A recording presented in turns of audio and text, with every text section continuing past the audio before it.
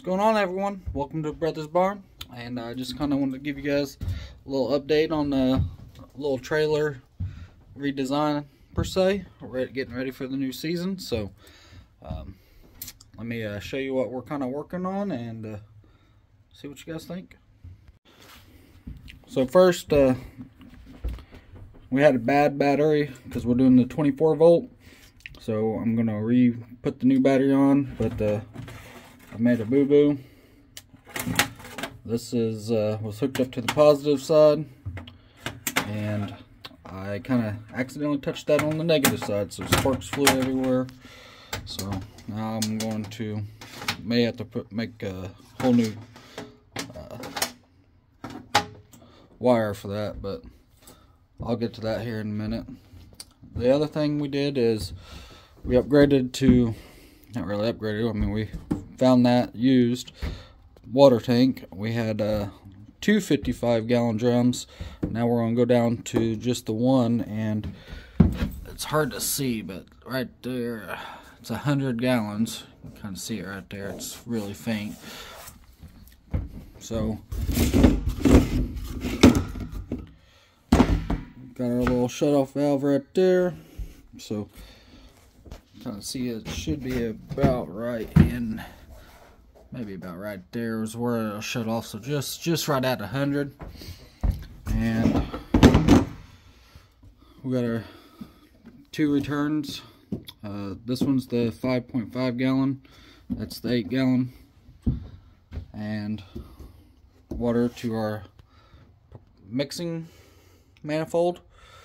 And then down here kinda did a so this is two inch tapered down to one inch wide it. So this is all one inch. This is one inch filter and one inch going all the way into the eight gallon per minute pump. And then on the other side one inch tapered down to three quarter three quarter filter. And that's going to the five and a half gallon.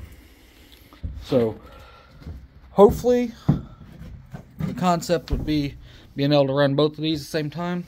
I'm not really for sure that we'll get the flow that we need with the plumbing. So we do got shut off valves, but if it doesn't work, then I may end up changing it and try to run two inch as far out as I can, but that's kind of what I'm working on now. Uh, we got our soap tanks right there. Our SH tank right there. Really no change. We do have to do some work. We got a hole right there that we found. So we got a hole in the floor. So got a little bit of work to do but I'm going to start working on this and then I'll explain this once I get all this put together. So let me put this all together and I'll show you what I did Alright, I got the two batteries hooked up. So, how to get this pump to draw 24 volts. You need two batteries, two 12 in 12 volt batteries. And what you need to do, so back there is where I hook up to the pump, but to make these work is you got to take a wire, and this is 10 gauge, so that's what I'm using, 10 gauge wire. Hook it to the positive and follow it and then hook it to the negative of the other battery. So that makes it where it draws 24 volts instead of 12 volts. And then whenever you're hooking up the pump, instead of hooking it up, you know, positive, negative, you hook up the positive to the positive side of, of this one where you hook the negative and then you hook the negative to the negative where you hook the positive. So you flip-flop it. See if that makes any more sense. Positive to negative one wire. Hooking the pump use positive negative So that'll get you 24 volts. And then this other stuff, this cable, these cables, is for the battery charger.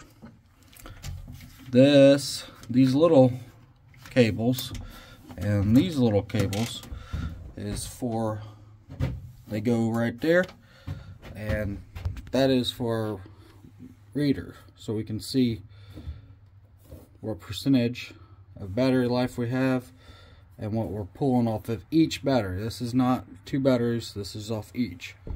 I may put a third one so I could see the voltage out of running both, but I wanted to run each one just to see if one, like this one, is only giving us 11.9, 58%, so I need to charge it. This one's 68%. Could use a charge, and that's a brand new battery, which is weird. We just bought this battery yesterday. This one we've had so, hope that makes sense. Kind of trying to hold my phone steady in case you guys need to take a screenshot or anything because I know it's kind of confusing, but it's kind of simple. If you just rotate your batteries separate, basically you're hooking the positive to the negative with one wire and then hooking up directly to the pump, use the positive side and the negative side. So now I'm gonna got my extension cord. I got my port right here. So I'm gonna hook these up. I'm gonna just go ahead and shut these off. Just kind of hold the button and boom, they go off. Hook this up, make sure the battery charger works. And we do have some light, so we 12 volt. And boom, they're charging.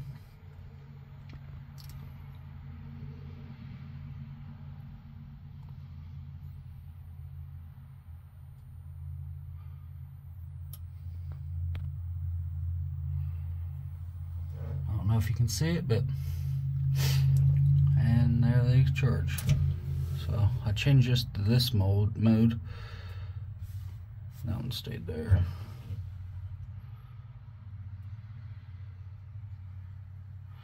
And this one is charging. It's charging the newer battery.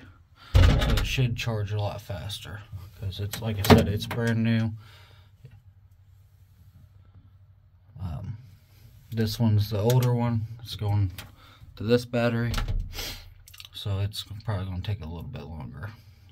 But let it do its thing. Hope that uh, helps you guys. And obviously, if you guys got questions, make sure you leave in that comments section. Um, let me know what you think on the plumbing. I'm I'm a little concerned if I'll be able to run an eight gallon and a five and a half at the same time with the plumbing, but gonna try it. Worst thing is I'm gonna have to replace it, you know. Just what it is. But uh, don't forget to hit that subscribe button, hit the thumbs up, turn the bell on, and uh, till next time, later everyone.